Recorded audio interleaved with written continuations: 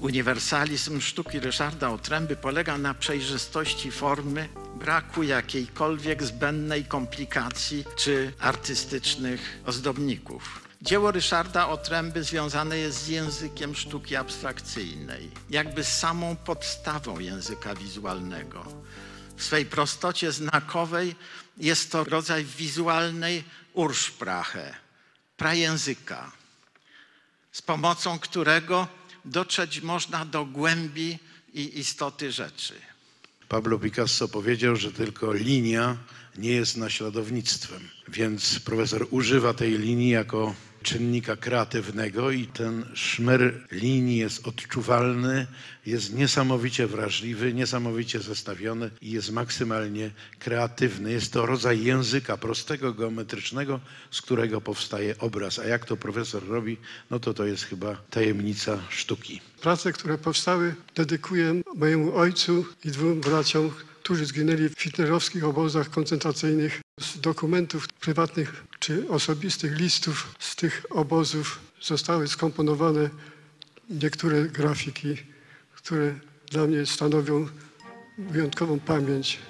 Ta pamięć odnosi się również do wielu rodzin, które przeżyły podobną historię. Nie spodziewałem się tych oświęcimskich prac.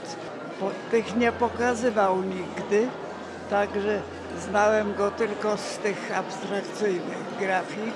To jest element tragicznej historii wszystkich naszych rodzin, które gdzieś się tam przewijały, dziadków, ojców. No więc rozumiem, że jest to bardzo osobista wystawa i z tego względu inna i szczególna.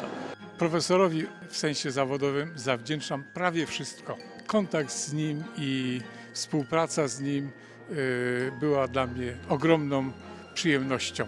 Zjednał sobie wszystkich. Nie było studenta, który wychodziłby z korekty z posępną miną i mruczał coś pod nosem. Wszyscy zawsze uważali, że wszelkie rady profesora są nieocenione. Potrafił znaleźć jakąś myśl e, w każdym projekcie. Nawet jeżeli studenci przynosili marne prace i wstydzili się pokazać je profesorowi, profesor bardzo cierpliwie mówił pokaż, pokaż co tam jest i zawsze potrafił znaleźć coś ciekawego, co udało się rozwinąć. Potem czasem okazywał się w bardzo dobry projekt.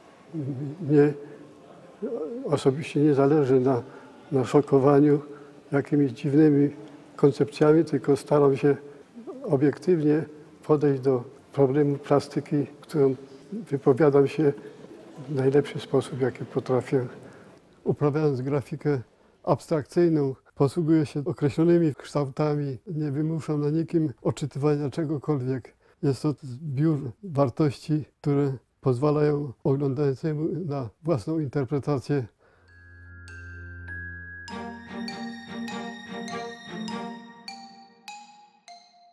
Chciałbym w imieniu tych, którzy nie mają głosu, opowiedzieć historię z okresu okupacji hitlerowskiej. Niejako włączam się do tego nurtu, który pozwala e, wracać do tych lat, gdzie nie było powrotu dla osób, które tam się znalazły.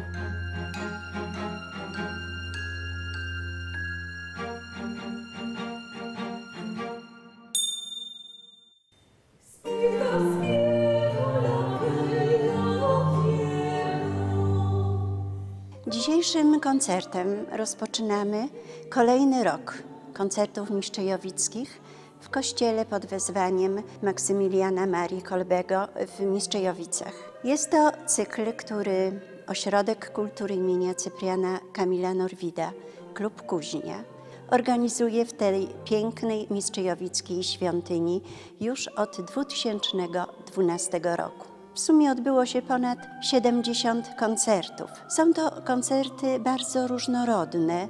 Jest to muzyka klasyczna, poważna, ale również poezja.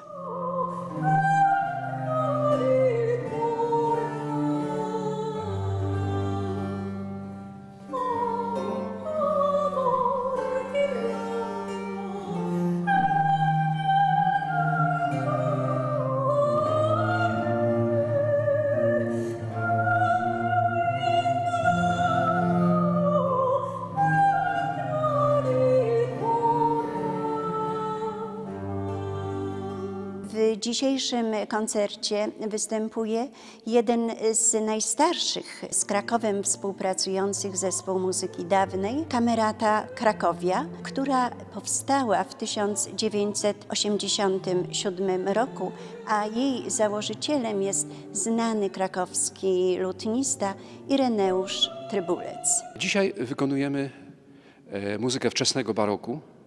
Pierwsza część są to utwory włoskie, utwory świeckie, arie i pieśni, których kompozytorami są Carlo Milanuzzi, Cherubino Bussatti czy Hieronymus Kapsberger. Natomiast drugą część koncertu wypełnią utwory polskie. Będą to przede wszystkim psalmy z kancjonału z brzegu oraz na dwa głosy odnalezione w źródłach rękopiśmiennych rosyjskich z tekstami Jana Kochanowskiego.